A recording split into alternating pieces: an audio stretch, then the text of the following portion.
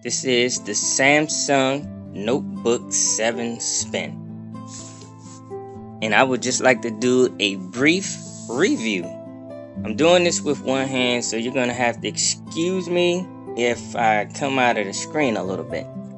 But, so, without further ado, let's get into this.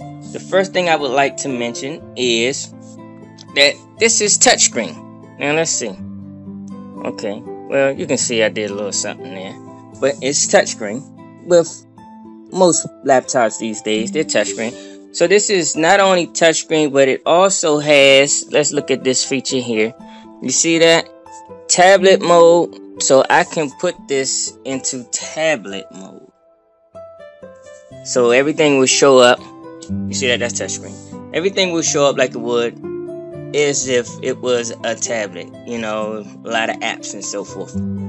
Uh, another thing I would like to mention is this has the Intel Core i7. Now, from what I hear, i7s are pretty good. You can do gaming with the Intel Core i5. So the i7 should be pretty good. Um, also, another nice feature on this is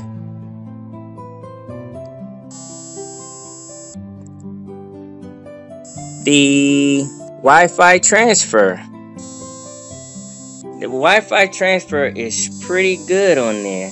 I like the Wi-Fi transfer because I can transfer information from my phone or my tablet straight to the computer without hooking up cables, without going into any web accounts or any of that. I can transfer straight to there. Now, Unfortunately, because I'm filming this with my phone, I can't show you the Wi-Fi transfer, but it's pretty good. Also, this screen flips all the way around. Okay, I'm out of the screen a little bit, but there you go, look. It flips all the way around. That's really nice. I like that. Um, and this is a really thin computer. It's really sleek, really thin. See that? Nice and thin. It's metal on the top. And this is like some type of rubbery plastic here at the bottom. It's really nice. Now, I showed you the thickness of it. You see how thin it is? Now, if you pay attention to looking at this thinness of it, you will notice that something is missing. And that is this guy. A DVD drive. So they don't make laptops with DVD drives built in anymore.